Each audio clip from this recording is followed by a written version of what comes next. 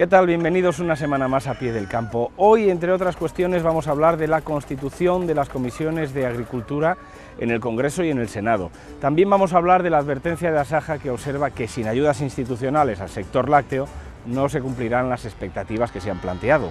Centraremos la actividad agronómica semanal en las labores de siembra de la colza y abordaremos, como siempre, información de servicio y otros temas breves relacionados con el campo. Comenzamos.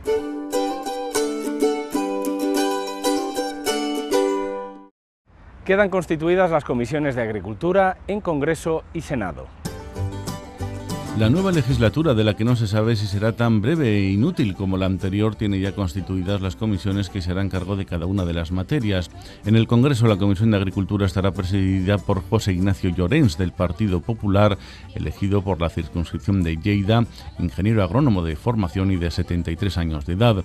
Serán vicepresidentes Marc Lamois, del PSOE, historiador de profesión, elegido por Girona, de 36 años de edad, y Miguel Ángel Viso, del PP, elegido por Ourense, ingeniero agrícola de profesión de 44 años de edad. Como secretario ejercerá el soriano Javier Antón Cacho, titulado en Magisterio de 43 años, y como vicesecretaria Rosana Pastor, de Podemos, actriz de profesión de 56 años y elegida por Valencia.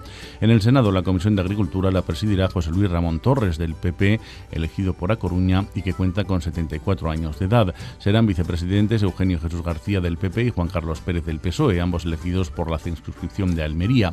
El secretario primero será Fernando Priego del PP en la circunscripción de Córdoba y vicesecretario Nemesio Lara del PSOE elegido por las Cortes de Castilla-La Mancha.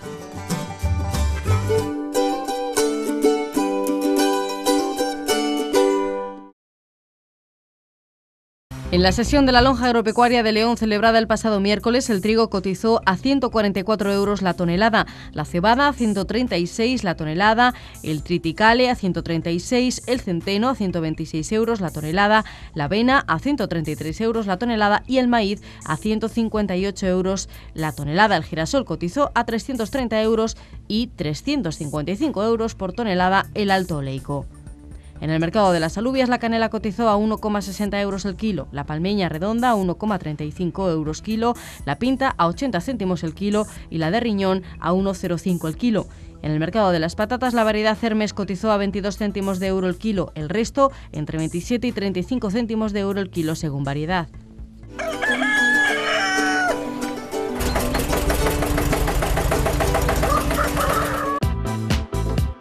Agromendoza, empresa leonesa dedicada a la comercialización de productos del campo.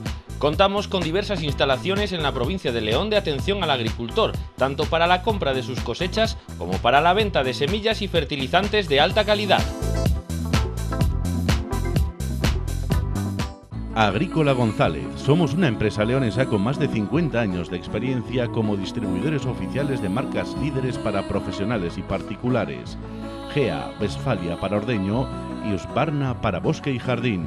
Disponemos de las últimas novedades en maquinaria con todos los accesorios y repuestos. Taller y servicio técnico de urgencia 24 horas.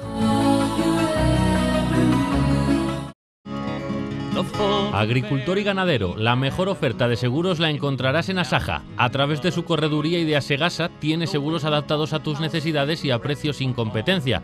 Trabajamos con las mejores compañías de seguros.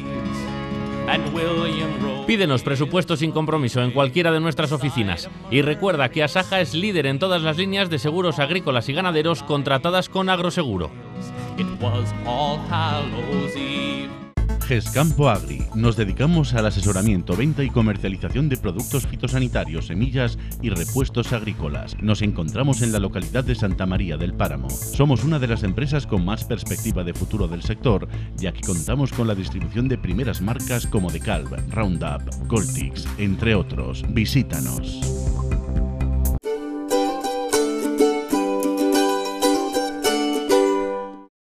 Asaja advierte que sin cofinanciación del Ministerio y Junta, la ayuda al sector lácteo no cumplirá sus objetivos.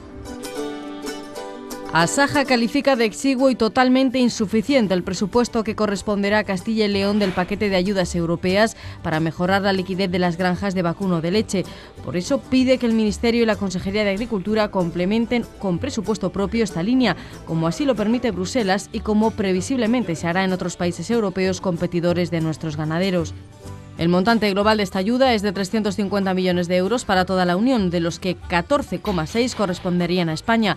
A Castilla y León, atendiendo a su peso productivo, el criterio más objetivo para efectuar el reparto, le estarían destinados 2,4 millones de euros, una cifra irrisoria a repartir entre los cerca de 1.400 ganaderos de la comunidad autónoma. Asaja considera que las administraciones nacional y autonómica deben ser coherentes y demostrar más allá de las promesas que son conscientes de la ruina del sector lácteo, aportando cada una una cuantía igual a la que llegue de Europa. Cumpliendo esa hipótesis, se sumarían los 2,4 millones de euros de la Unión Europea, más 2,4 del Magrama y otros 2,4 de Castilla y León, y habría una partida de unos 7 millones de euros que, sin ser grande, permitiría que este reparto solucione algunos problemas y sea un balón de oxígeno para el sector ganadero. La ayuda para mejorar la liquidez del sector lácteo es una medida muy importante porque está enfocada a fortalecer a las explotaciones para que puedan continuar abiertas tras este largo y duro periodo de pérdidas. Persigue, pues, objetivos diferentes de la ayuda para la reducción temporal de la producción de leche, también aprobada por la Unión Europea, que está enfocada a propiciar un ajuste del mercado.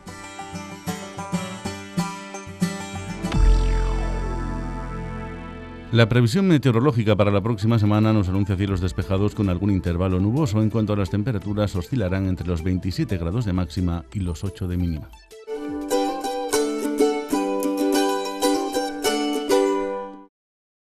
Esta semana centramos la actividad agronómica en las labores de siembra de colza. Esta semana han comenzado las labores de la siembra de la colza en la provincia de León, un cultivo que se está introduciendo sobre todo en los secanos más productivos, formando parte de las alternativas en la rotación de la explotación. Este cultivo es el primero en sembrarse de la nueva campaña agrícola y por lo general se siembra sobre barbechos, sobre cosecha de leguminosas o sobre fincas en las que se recogió en primavera el forraje, es decir, fincas en las que ha habido tiempo de preparar el terreno incluso con escasas o nulas precipitaciones. En algunas fincas de regadío modernizado los agricultores han regado para hacer las labores o para provocar la nascencia de la planta. Los técnicos recomiendan una buena preparación del terreno, a ser posible con labores verticales y que el terreno no tenga trazas de pesticidas residuales que puedan interferir la nascencia o el desarrollo de la planta.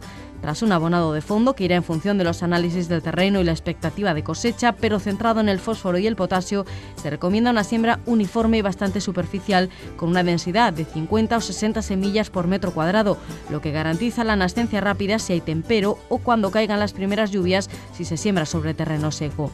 Este cultivo está en aumento en las comarcas de Sagún y Esla Campos y se ve beneficiado por las normas de la nueva PAC ya que tiene una ayuda directa. La pasada campaña se cultivaron en la provincia 2.300 hectáreas de colza, la mayoría con contrato con cooperativas o almacenes privados. La colza se procesa para obtener aceite con destino al consumo humano o a la fabricación de biodiesel. La torta, que queda una vez extraído el aceite con un alto contenido en proteínas, se emplea en la fabricación de piensos para la producción animal.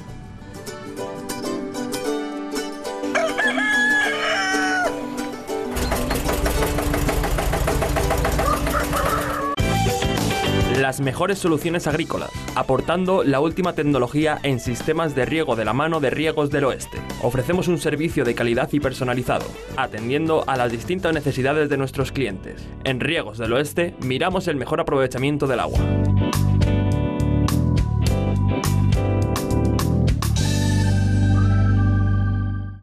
Compromiso de New Holland es proporcionar soluciones que mejoren la eficiencia y la productividad en los ámbitos agrícola y ganadero.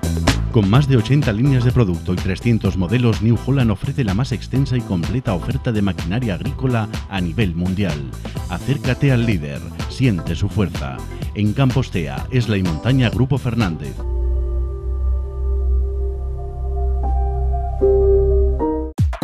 Ferreras Comercial Agraria es una empresa especializada en la venta y reparación de maquinaria agrícola desde hace más de 35 años, distribuyendo en exclusiva las marcas Cron, Amazon, Maschio, Gaspardo, Tatoma y Tanco. Estamos a su servicio.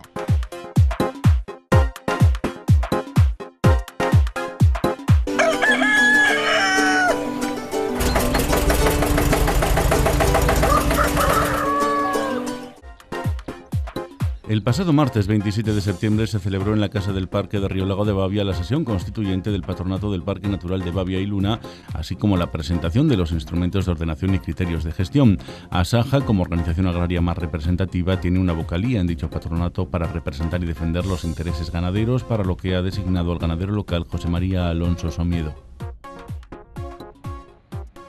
Azucarera iniciará el 10 de octubre la campaña de recepción de remolacha en la fábrica de Toro y a final de ese mismo mes tiene previsto abrir la planta de Miranda. Se retrasará más la apertura de la fábrica de La Bañeza, cuya campaña se va a hacer en dos periodos, uno de unos 32 días entre noviembre y diciembre y otro de unos 28 días entre febrero y marzo.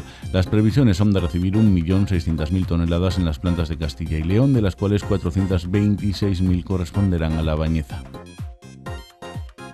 El Fondo Español de Garantía Agraria ha recalculado las ayudas asociadas a la vaca nodriza y al ovino correspondientes al año 2015 que ya se encuentran pagadas. Así, la ayuda a la vaca nodriza quedó fijada en 100,15 euros por unidad, casi 3 euros más del cálculo inicial, y la del ovino en 12,70 euros unidad, 64 céntimos más del cálculo inicial. La Junta de Castilla y León procederá en próximas fechas a hacer un pago en el que se salden estas diferencias. Un total de 234 ganaderos de Castilla y León, de ellos 58 leoneses, han solicitado la ayuda a la reducción temporal de la producción de leche para los meses de octubre, noviembre y diciembre. La reducción solicitada asciende a algo más de 6 millones de litros. De aprobarse la ayuda solicitada y cumplir los compromisos asumidos, cobrarían una subvención de 14 céntimos por cada litro reducido, lo que ascendería a una partida global de 860.000 euros. La prestigiosa y casi exclusiva marca de tractores Fendt ha decidido cambiar el color que incorpora a todos sus modelos. A partir de ahora, todas las máquinas de la marca incorporarán el color Fendt Nature Green, obteniendo una tonalidad más versátil y dinámica, irradiando más calidez, naturalidad y profundidad.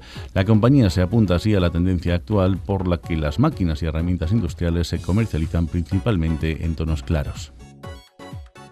Las administraciones estatal y autonómica han felicitado a la asociación AJAL por el buen servicio que está dando en la provincia de León en la revisión obligatoria de sulfatadoras de más de cinco años, algo en lo que viene trabajando en los últimos meses. El servicio ITEAF de AJAL está recorriendo todos los pueblos mediante una unidad móvil y personal cualificado y homologado, cobrando por el servicio las tarifas más bajas del mercado. AJAL es una asociación sin ánimo de lucro de la que forman parte asociaciones agrarias y todas las juntas agropecuarias locales. Hasta aquí a pie del campo esta semana. Nosotros nos vamos, pero recuerden que la programación continúa y que nosotros regresamos el próximo fin de semana. Aquí les estaremos esperando, como siempre, a pie del campo.